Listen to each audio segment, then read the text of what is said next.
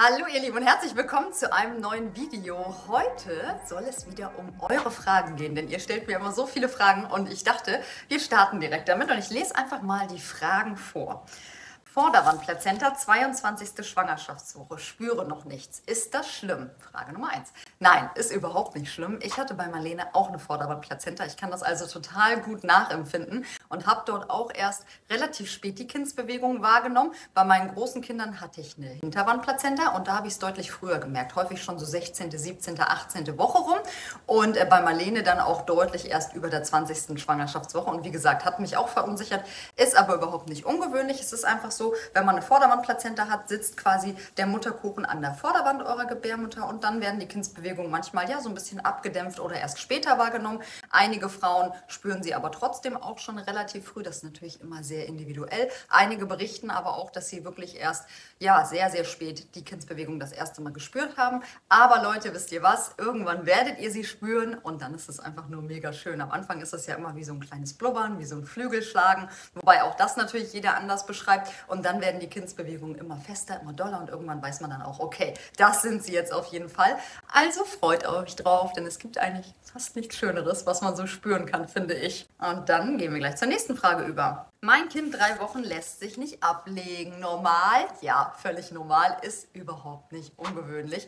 Ich kann es so gut nachempfinden. Es ist einfach so. Am Anfang muss man sich erstmal einfinden, erstmal herausfinden, auch was beruhigt mein Baby, wie kann ich mein Baby gut ablegen. Und das muss man einfach üben. Bei manchen Kindern geht es schneller und einfacher, bei anderen dauert es länger. Und es gibt halt auch immer so Phasen, wo die Kinder einfach wahnsinnig viel Körperkontakt brauchen, wahnsinnig viel Nähe brauchen, Geborgenheit, viel getragen werden wollen, wo man sie kaum ablegen kann. Und dann gibt es wieder Phasen, wo sie ja auch manchmal so aus unersichtlichen Gründen total gut schlafen. Das ist überhaupt nicht ungewöhnlich. Hat mit Verarbeitung von Reizen zu tun, hat mit Entwicklungsschüben zu tun, hat vielleicht mit Bauchschmerzen zu tun und was sich sonst alles noch so bei den kleinen Mäusen ja gerade so abspielt. Also von daher bleibt da echt ganz entspannt und versucht es einfach immer wieder und übt es halt ein bisschen. Was bei Marlene und mir mal ganz gut funktioniert hat, ich habe sie manchmal so in der Decke so ganz leicht eingepuckt, eingewickelt. So konnte ich sie ein bisschen besser ablegen. Weil wenn sie dann den Schreckreflex hatte, ist sie angeeckt und hat dann gleich weiter geschlafen. Wobei das auch tagesformabhängig war und auch tageszeitabhängig war. Morgens zum Beispiel konnte ich sie besser ablegen als nachmittags, abends. Da war sie irgendwie schon so ein bisschen drüber und da hat es ein bisschen länger gedauert. Was bei uns auch immer gut geholfen hat, wenn ich gemerkt habe, boah, sie ist jetzt aber richtig müde eigentlich und kommt gar nicht zur Ruhe, so ein bisschen die Umgebungsreize auszuschalten. Also wirklich so Fernseher aus, Handy lautlos. Die Kinder habe ich dann auch mal zur Seite geschickt und gesagt, jetzt noch ein bisschen leiser. Marlene versucht zu schlafen. Hat mal besser und mal nicht so gut geklappt. Und äh, was bei uns auch immer gut ähm, geklappt hat, ist, wenn ich Marlene über die Seite abgelegt habe. Wenn ich sie so auf den Rücken gelegt habe, war sie eigentlich sofort wieder wach. So über die Seite ging ganz gut, wenn quasi auch das Sofa, wenn die ihre Füße das Sofa als erstes berührt haben und ich sie dann so langsam abgerollt habe, ganz langsam auf den Rücken gerollt habe, noch so Körperkontakt hergestellt habe und dann ging es in der Regel ganz gut. Und was auch immer gut ging, äh, war Tragen. Ne? Also im Tragetuch oder in der Trage, ihr wisst es ja, ich liebe es immer noch. Und da ist sie häufig dann auch eingeschlafen und dann konnte ich sie manchmal auch aus dem Tuch ablegen. Hat mal geklappt und mal nicht so gut geklappt, auch da. Das müsst ihr einfach austesten.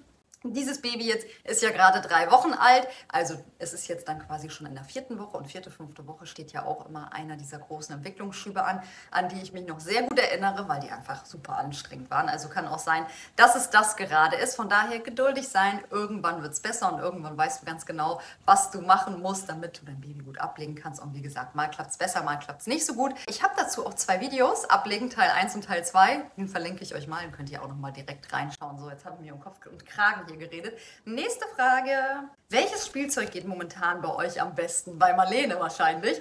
Ja, also, was geht bei uns gut? Magnetsteine zum Stapeln. Bausteine findet sie gerade großartig. Das mag sie richtig, richtig gerne. Dann haben wir ja hier im Wohnzimmer so einen Spielbogen mit Rutsche und ja, so ein Kletterdreieck. Das findet sie auch richtig cool. Sich einfach gerade viel bewegen, klettern, rauf, runter. Das findet sie richtig, richtig gut. Das mag sie noch gern. Ach so, wir haben so ein Spiel mit einer Schale und ähm, so einem Eierlöffel eigentlich und Kugeln in verschiedenen Farben und dann gibt es da so kleine Eierbecher dazu. Und das findet sie auch gerade total cool, so diese Kügelchen mit dem Löffel quasi in den verschiedenen Eierbecher zu verteilen. Und was sie auch liebt, ist Badespielzeug. Das findet sie großartig. Das muss ich euch unbedingt auch nochmal verlinken.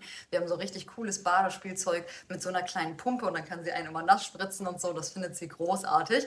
Und ansonsten, was fand sie sonst immer noch gut, als sie ein bisschen kleiner war? Klopapierrollen waren bei uns der Hit. Und vor allem Schränke ausräumen in der Küche mit Vorliebe Liebe. So, alles, was man da ausräumen kann, hat sie ausgeräumt und wieder äh, eingeräumt. Unseren Schuhschrank räumt sie auch gerne aus. Also so diese alltäglichen Sachen. Auch dazu habe ich letztens übrigens ein Video gemacht. Setze ich euch hier auch nochmal rein. Schreibt doch mal in die Kommentare, womit eure Kinder gerade gerne spielen. Das würde mich auch interessieren. Nächste Frage. Mein Sohn, acht Monate, mag kein Brei. Was soll ich machen? Ja, geduldig bleiben. Wirklich ohne Druck und ohne Zwang. Das finde ich immer super wichtig in Bezug auf das Thema Essen. Ist ja einfach auch ein großes Thema und es gibt einfach viele Kinder, die mal besser essen, mal schlechter essen und mal kaum essen und dann einfach wieder vollgestillt werden oder das Fläschchen mit Prämilch bekommen. Das ist überhaupt nicht ungewöhnlich. Das kann an ganz vielen verschiedenen Dingen liegen. Häufig ist es so, dass sie zum Beispiel einen kleinen Infekt haben, einfach ein bisschen krank sind und dann nicht so viel Lust haben, nicht so viel Appetit haben zu essen. Kann man ja auch nachvollziehen. Haben wir ja vielleicht auch nicht, wenn wir krank sind. Bei manchen manchen sind es die Zähnchen, die dann mal drücken, die dann dazu führen, dass die Kinder einfach nicht so viel Appetit haben, dass der warme Brei dann vielleicht auch auf den Kauleisten wehtut. Dann ist es manchmal so, dass Entwicklungsschübe anstehen. Ja, oder dass die Kinder einfach so gerade keine Lust haben zu essen, sondern lieber wieder mehr trinken wollen, Reize zu verarbeiten sind, sie einfach viel von ihrer Umwelt gerade wahrnehmen und auch da zu verarbeiten haben. Von daher bietet es einfach immer wieder an und versucht es. Und wenn euer Baby nicht möchte, ist es einfach ganz, ganz wichtig, Nein auch zu akzeptieren. Wisst ihr, was bei uns manchmal echt gut geklappt hat, eine andere Tageszeit zu wählen? Manchmal war es so, dass Marlene morgens gar keinen Bock hatte. Den gleichen Brei habe ich ihr nachmittags so ungefähr nochmal angeboten, hat sie die ganze Schüssel aufgegessen. Also auch das war bei uns immer ein Thema und das war manchmal auch von Tag zu Tag unterschiedlich. Mal hatte sie morgens schon Hunger, mal eher nachmittags, so wie das bei uns ist. Dass wir mal früher, mal später essen, mal mehr und mal weniger und genauso ist es bei den Kindern auch. Einfach dranbleiben, auch verschiedene Lebensmittel immer mal wieder anbieten und sie auch mit an den Familientisch setzen. Also wenn ihr esst, dass sie einfach gucken können, schauen schauen können, sich auch was abgucken können, sodass man einfach ein bisschen das Interesse am Essen weckt. Und wie gesagt, ich hatte so viele Breipausen mit Marlene. Mal hat es gut geklappt und mal habe ich sie dann wieder vollgestillt, weil sie überhaupt nichts essen wollte. Und das hat durchaus auch mal ein paar Tage oder auch mal ein paar Wochen angehalten. Und wenn dann zum Beispiel das Zähnchen durch war oder der kleine Infekt, die Erkältung überstanden war, danach hat sie plötzlich wieder richtig gut gegessen. Von daher macht euch da keinen Stress und bleibt da ganz entspannt und schaut auch gerne nochmal in unser Beikost einmal eins rein, da könnt ihr auch nochmal gucken. Und die nächste Frage, das erste Mal wieder Periode, oh mein Gott, so stark, so anders. Ja, also das kenne ich nur allzu gut auch von mir. Ich muss sagen, das wurde bei mir gefühlt auch mit jedem Kind mehr mit der Blutung. Ähm, wirklich so, dass ich dachte, oh Gott, das ist jetzt aber sehr, sehr ausgeprägt und das berichten halt auch sehr, sehr viele Frauen einfach. Bei manchen ist es so, dass wirklich nur die ersten zwei, drei, vier äh, Regelblutungen ein bisschen ausgeprägter sind und äh, sich das dann wieder einpendelt handelt, quasi auf vorschwangerschaftliches Niveau. Bei anderen ist es so, dass es so ausgeprägt bleibt. Wenn du dich jetzt unsicher damit fühlst und das Gefühl hast, nee, das ist irgendwie zu viel und ich fühle mich nicht gut damit, dann natürlich immer einmal lieber mehr zum Frauenarzt, zur Frauenärztin gehen, einmal drüber schauen lassen. Und es ist einfach auch so, die ganze Hormonumstellung findet ja noch statt und bis sich der Zyklus wieder eingependelt hat, kann das einfach auch eine ganze Weile dauern. Aber ich muss sagen, meine Periode ist auch seit den Kindern deutlich ausgeprägter und es ist auch so geblieben. In der 22. Schwangerschaftswoche oft harten, aufgeblähten Bauch. Hättet ihr Tipps, was ich tun kann? Ja, ist auch nicht ungewöhnlich, ist heute mein Lieblingssatz, ne? Ist nicht ungewöhnlich. Wer kennt das nicht aus der Schwangerschaft? Es ist einfach so. Das Baby wächst, die Gebärmutter wächst und natürlich wird der Magen-Darm-Trakt so ein bisschen eingeengt, ein bisschen weggeschoben und dann kann das halt mal zu Verdauungsproblemen und vor allem halt auch Verstopfung führen. Das haben viele Frauen und viele berichten auch, dass sie halt mehr pupsen müssen und einfach auch mehr auf Toilette und länger auf Toilette sitzen. Das ist halt, wie gesagt, ja, geschuldet dessen, dass einfach dort natürlich die Gebärmutter und das Baby sich ein bisschen Platz machen, dem Magen-Darm-Trakt zur Seite schieben und die Hormonumstellung des Progesteron verlangsamt auch so ein bisschen den Magen-Darm-Trakt. Auch gar nicht ungewöhnlich. Aber was kann man tun? Also gucken auf jeden Fall, dass man ausreichend ist, dass man immer mal wieder über den Tag verteilt ist, dass man versucht, ausgewogen zu essen, ausreichend zu trinken. Auch das ist natürlich ganz, ganz wichtig und über den Tag verteilt und nach Möglichkeit ballaststoffreich essen. Das heißt, alles, wo du denkst, boah, das regt eigentlich meine Verdauung an oder hat in der Vergangenheit meine Verdauung unterstützt, würde ich einfach mehr in deinen Tagesablauf mit einbauen und immer mal über den Tag verteilt vielleicht etwas essen, was bei dir ganz gut hilft. Bei mir waren das zum Beispiel Trockenpflaumen, mochte ich jetzt nicht so besonders gerne, aber haben halt gut geholfen.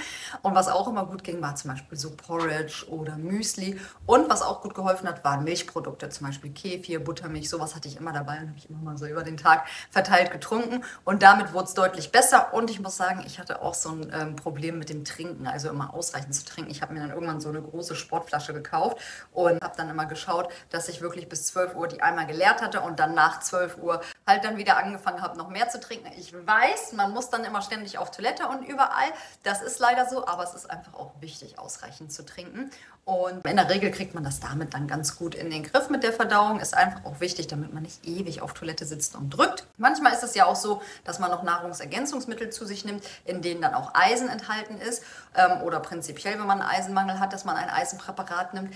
Das kommt dann manchmal auch noch oben drauf, weil das macht ja häufig auch dann so ein bisschen ja, Verstopfung und den Stuhlgang ein bisschen fester. Also auch da dann nochmal gucken. Ich habe das auch nehmen müssen und habe dann einfach geschaut, wenn ich Verstopfung hatte, dass ich es nur alle zwei, drei Tage genommen habe. Das kommt aber natürlich dann auch immer so ein bisschen auf den Eisenmangel an und was euer Frauenarzt, eure Frauenärztin gesagt hat. Aber versucht es einfach mal mit der Ernährung und ausreichend Trinken so ein bisschen den Magen-Darm-Trakt anzustoßen. Und was auch immer gut geht, ist Bewegung. Also echt mal so ein kleiner Spaziergang, so ein Verdauungsspaziergang, wie man schön sagt. Und einfach ein bisschen Bewegung in den Alltag einbauen. Und auch wenn ihr auf der Arbeit seid, einfach immer mal wieder aufstehen, den Flur auf und ablaufen und sich dann wieder hinsetzen zum Beispiel. Ihr Lieben, falls eure Frage nicht dabei war, schreibt sie unbedingt in die Kommentare. Dann machen wir nämlich ganz, ganz schnell das nächste Video. Schaut auch nochmal in das Beikost-Video hier rein. Einmal eins zur Beikost. Und dann würde ich sagen, sehen wir uns schon ganz bald wieder.